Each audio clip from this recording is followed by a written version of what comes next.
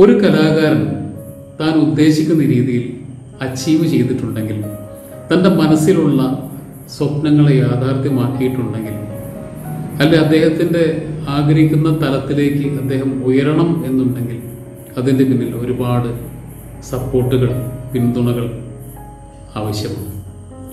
അത് പ്രേക്ഷകരാവാം തന്റെ പ്രിയപ്പെട്ട സുഹൃത്തുക്കളാവാം തന്റെ കൂടെ പ്രവർത്തിക്കുന്ന മറ്റ് കോ ആർട്ടിസ്റ്റുകളാവാം അല്ലെങ്കിൽ ഗുരുജനങ്ങളാവാം ബന്ധുക്കളാവാം വീട്ടുകാരാവാം അങ്ങനെ പലതരത്തിലുള്ള സപ്പോർട്ടുകളാണ് ഒരു കലാകാരനെ തന്റെ കലാ വീതിയിൽ മുന്നോട്ട് നയിക്കുന്നത് വിജയം കണ്ടെത്താൻ സഹായിക്കുന്നത്.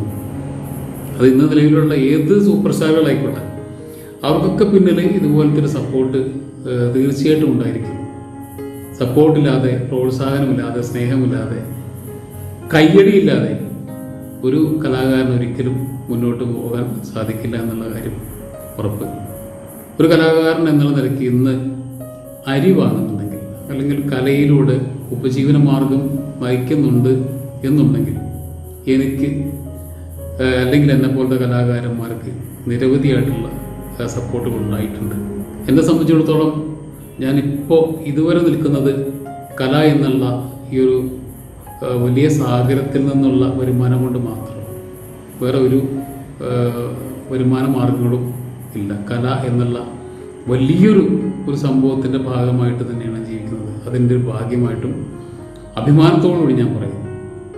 അപ്പോൾ ഇനിയും നേടിയതിനേക്കാൾ എത്രയോ ആയിരം മടങ്ങ് കലാമേഖല നമുക്ക് അച്ചീവ് ചെയ്യാനുണ്ട് അല്ലെങ്കിൽ നേടിയെടുക്കാനുണ്ട് അല്ലെങ്കിൽ നമ്മൾ സ്വപ്നം കണ്ടുകൊണ്ടിരിക്കുന്ന ഒരുപാട് കാര്യങ്ങൾ നമുക്ക് യാഥാർത്ഥ്യമാക്കുവാനുണ്ട്. അതിലേക്കൊക്കെ പോകണമെന്നുണ്ടെങ്കിൽ തീർച്ചയായിട്ടും നമ്മുടെ പ്രിയപ്പെട്ട കൂട്ടുകാരുടെ അല്ലെങ്കിൽ പ്രിയപ്പെട്ട പ്രേക്ഷകരുടെ അല്ലെങ്കിൽ പ്രിയപ്പെട്ട നാട്ടുകാരുടെ മാതാപിതാക്കളുടെ അല്ലെങ്കിൽ വീട്ടുകാരുടെ സുഹൃത്തുക്കളുടെ ഒക്കെ സപ്പോർട്ട് ഉണ്ടായിരിക്കും ഉണ്ടായിക്കൊണ്ടിരിക്കുന്നുണ്ട്. ഈ കലാമേഖലയിലേക്ക് വന്ന് വരുന്ന സമയത്ത് നാട്ടിലുള്ള ഒരുപാട് കലാകാരന്മാർ എന്നെക്കാളും കൂടുതൽ കഴിവുണ്ട് എന്ന് വിശ്വസിക്കുന്ന നല്ല കലാകാരന്മാരുള്ള ഒരു നാടാണ് എന്റെ നിലമ്പൂർ മേഖല എന്ന് പറയുന്നത്. എന്റെ നാടും നാടും അതിനടുത്തുള്ള ഒരുപാട് ചുറ്റളവിലുള്ള ഒരുപാട് സ്ഥലങ്ങളിലൊക്കെ പലതരത്തിൽ എന്നെ സപ്പോർട്ട് ചെയ്യുന്ന എന്നെ സ്നേഹിക്കുന്ന കലാകാരന്മാരുണ്ടായിരുന്നു. അവരെയൊക്കെ ഒന്ന് ഓർത്തെടുക്കാൻ വേണ്ടി മാത്രമാണ് ഞാൻ ഇന്ന് ഇങ്ങനെയൊന്ന് സംസാരിച്ചു തുടങ്ങുന്നത്. കാരണം അവരെ ഓർക്കാതെ എനിക്ക് ഒരു കലാജീവിതമില്ല. അതുപോലെ ഞാൻ മാത്രമല്ല ഈ കലയുമായി ജീവിക്കുന്ന ഓരോരുത്തർക്കും അവരുടെ പിന്നിലുള്ള ആ ഒരു ബലത്തെ ഓർക്കാതിരിക്കാൻ കഴിയില്ല. അപ്പോൾ ഞാനിപ്പോൾ ഓർത്തെടുക്കുന്ന ഒരുപാട് പേരുകൾ പല പേരുകളും മറന്നുപോകും. മനഃപൂർവമല്ലാതെ നമ്മൾ വിട്ടുപോകും. ഓർത്തെടുക്കാവുന്ന ഒരുപാട് പേരുകളുണ്ട്.